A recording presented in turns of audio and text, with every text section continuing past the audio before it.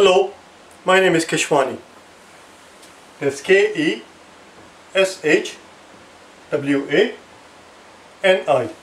Keshwani. We are here because we want to prepare for the GRE. We have been solving GRE math questions out of this book here, the official guide to the GRE, the revised general test. If you do not own this book already, purchase one immediately. You're going to need it. The problem that we are about to solve is the one that you will find on page number 244 and today is our lesson number 143. Let's take a look at it. Problem number 7. We are given three sets of simultaneous equations and our job of course is to solve them. The very first one is problem number 7 as I said. They tell us that x plus y equals 24 they also tell us that x minus y equals 18. It's a very straightforward, simple scenario because of the fact that the coefficient of the variables are exactly the same, plus 1 and plus 1, and here actually it's even better, plus, and, plus 1 and minus 1, they're going to cancel each other out if we add the two equations. So that's what we're going to do. We add the two equations, plus x and a plus x, it gives us 2x, and a positive, positive y and a negative y. this positive y and the negative y is going to drop out and we're going to end up with 2x equals 8 plus is 2 31 42 unless I'm mistaken. And therefore x equals 42 over 2 which of course is 21 now if x is 21 this is a very simple equation because of the fact that we are told that x plus y equals 24 and if x is 21 y must be 3. That's it. That's your answer. Or if you or if you want to solve it properly, if you want to solve it properly and if you want to be a stickler about it, you will show the proper work.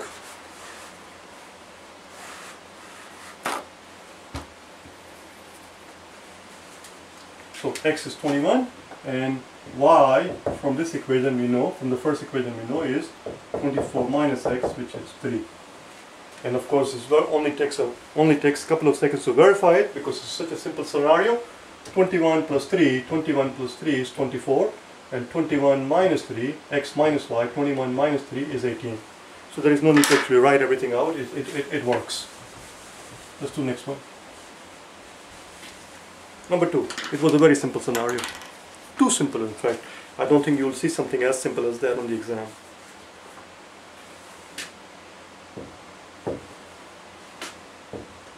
3x minus y equals negative 5 and x plus 2y equals positive 3. Now something like this you will see on the exam.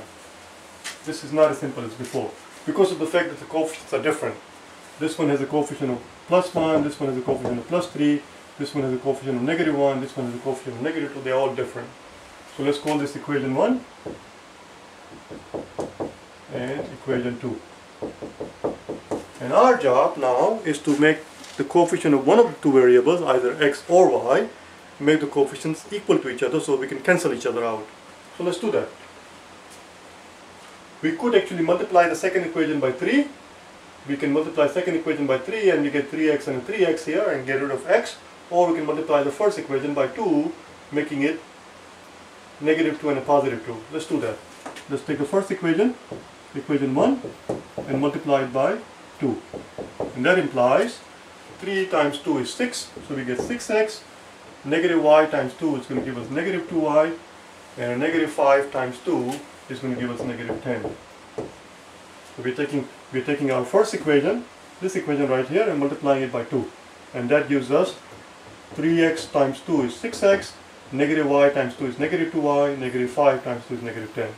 And here's our equation number 2.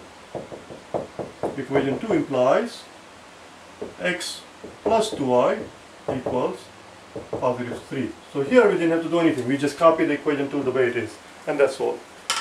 Let's see what happens. We get a negative 2y here. We get a negative 2y and a positive 2y. A negative, positive, negative 2y and positive 2y will cancel each other out. And we add them up a positive 6x, a positive 6x and a positive 1x is going to give us 7x and 7x will equal a negative 10 and a positive 3 is going to give us negative 7. Divide both sides by 7 and what we find is that x equals what we find is that x equals negative 1. x equals negative 1. Let's put this value of x back in one of the two equations here. Which equation should we put it in? Doesn't really matter. Let's put it in the first equation. Equation number 1 implies, equation number 1 says 3x minus y equals negative 5. Bring the y to the other side, bring the y to the other side, you get y equals to 3x. I'm, I'm going too fast perhaps. Let's see, what did I do in my notes? That's what I did, but I'm going to slow down here so that you can actually follow it.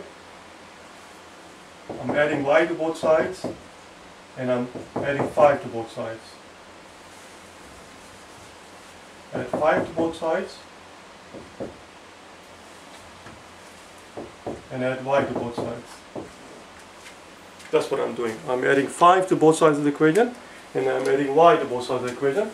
y cancels out, and we end up here, negative 5 cancels out positive 5, and we end up with y equals to 3x plus 5. y equals to 3x plus 5. And of course we know x is negative 1. So 3 times negative 1 plus 5 equals y, and y equals 3 times negative 1 is negative 3, negative 3 and a 5, it gives us positive 2. Well, those are answers. x equals x equals negative 1 and y equals positive 2. All we have to do at this point is simply go back to our equations and verify, make sure that these, these are in fact the right solutions, which is what we're going to do now. I need the room, I need a lot of room, so we're going to erase a lot of this stuff.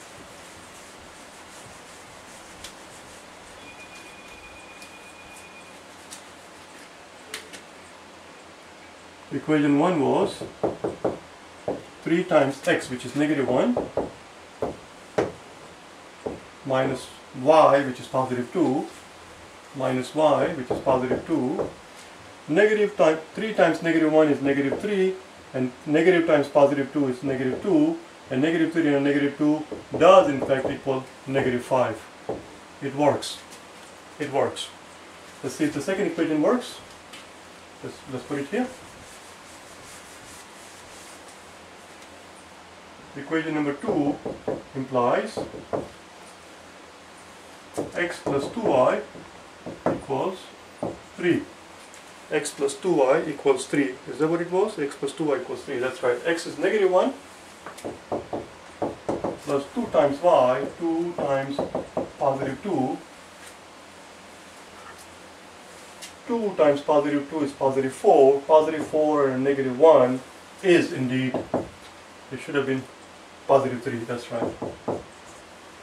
Because we get negative 1 and positive 4, which equals positive 3. It also works. So these are the right solutions. y equals y equals 2 and x equals negative 1. The third one that they give you here, it's uh, pretty, it's a bit, uh, bit involved and I don't want to start it right now because otherwise the video is going to be too long. The reason why it's, it's bit involved is because we have to do a lot of juggling, a lot of moving things around and making it into a nice standard form before we can actually start our work. So we'll, we'll save it for tomorrow. I'm done for today. I will see you tomorrow on day number 144 where we will do 7 7C. Okay? Bye now.